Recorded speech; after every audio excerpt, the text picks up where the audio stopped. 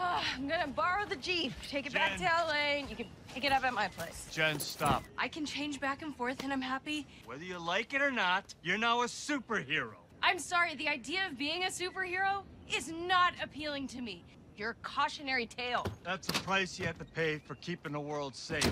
Denying half of your being is no way to live. Trust me. Goodbye. Okay.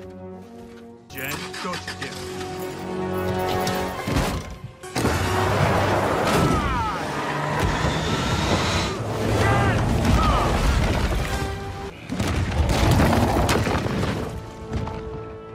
dialectical behavioral bullshit!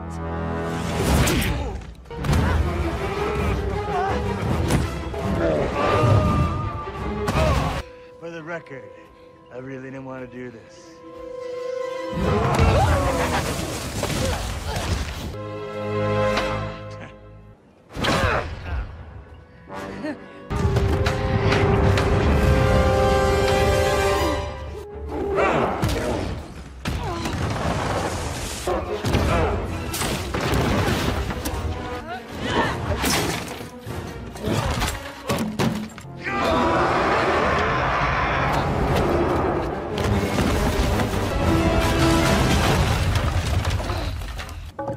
ball.